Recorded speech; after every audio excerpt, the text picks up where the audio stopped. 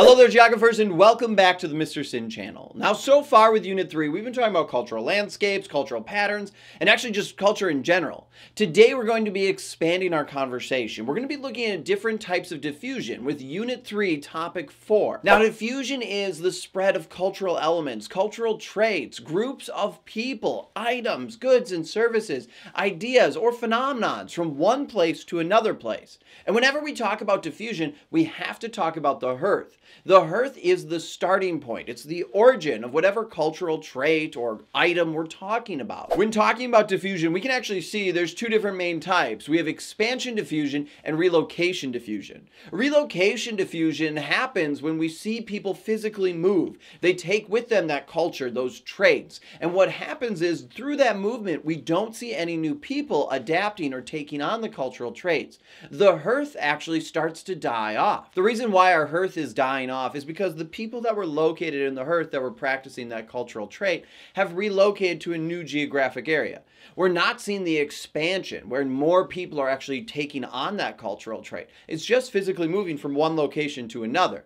And that's the big difference between expansion diffusion and relocation. With expansion diffusion, we see that that hearth actually remains strong. And that's because the amount of people that are practicing that cultural trait, belief, or using the item or good are actually increasing. The numbers are going up. We're not just seeing the diffusion of people moving, it's actually spreading throughout the community. And more people take on that trait. And that's the big difference between expansion diffusion and relocation. Now that we've covered expansion diffusion and relocation diffusion, we're going to go into a couple other types of diffusion diffusion. All of these different types fall under expansion diffusion. We're going to talk about hierarchical, contagious, and also stimulus diffusion. Hierarchical diffusion is often going through systems of power. There's a structure system that the diffusion is going through. Oftentimes it's going to be a top-down approach.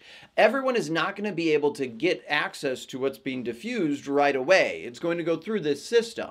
For example, fashion oftentimes diffuses through global cities around the world to other major urban areas, then slowly diffuses from those urban areas to the surrounding communities and so forth. Or we could look at how social media influencers diffuse new ideas or products. For example, games like Among Us, Fortnite, or Fall Guys became popular after major social media influencers started streaming it.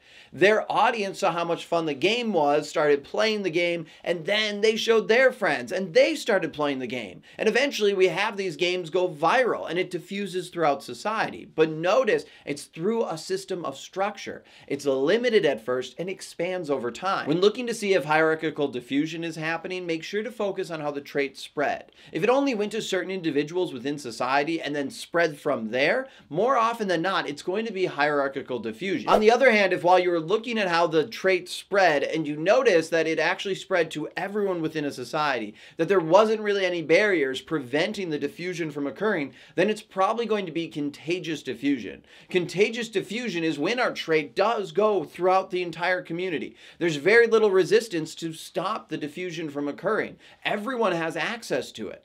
Oftentimes here, you're going to think of like a viral video online. Or think about a time that you've been in a room with a bunch of different people and someone in the back of the room is actually peeling an orange. Within a matter of minutes, all of a sudden everyone in the room can smell the citrus from the orange. Contagious diffusion is happening. The smell of that orange spreads throughout the whole room. Same thing happens when someone makes a cup of coffee. Before you know it, everyone in that room is going to be smelling that cup of coffee. This is contagious diffusion. There's little to no barriers preventing the trait from spreading, and everyone has access to it. The last type of expansion diffusion we can look at is stimulus diffusion. And this one's a little bit more challenging for students. It's different than the others. What's happening here is as diffusion is occurring, the trait is actually changing. Now, it's not the whole concept that's shifting. What's happening is the underlying characteristics, those main themes, the concept, the idea is staying the same. But as diffusion occurs, we're seeing that cultures of other areas are impacting that original trait. They're actually fusing with it, and we're seeing modifications.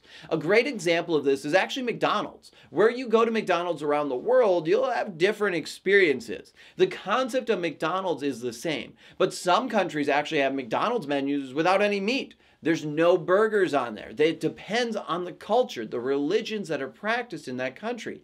McDonald's changes both the store layout, the aesthetics of the store, and their menu based on the unique cultures and where it resides. Even in the United States, depending on what state you're in, McDonald's will have different menu items. They will adapt and change based on the local environment. This is a great example of stimulus diffusion. So we can see that diffusion's happening all the time, and it's happening in a bunch of different ways. Now, sometimes diffusion is hindered through barriers. Some of those barriers are cultural barriers. Languages don't always understand each other, so we have language barriers that could prevent people from being able to interact.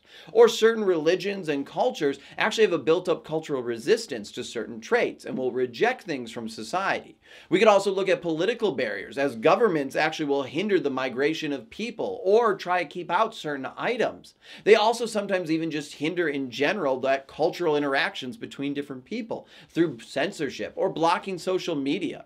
We could also even look at economics. Some cultures just can't afford certain items, so they're less likely to diffuse within that community. And physical barriers as well, mountains, rivers, oceans, all of this hinders diffusion. Now, I do want to highlight that today physical barriers are no longer as impactful as they once were. Today is more of political barriers and cultural barriers that are going to prevent diffusion from occurring.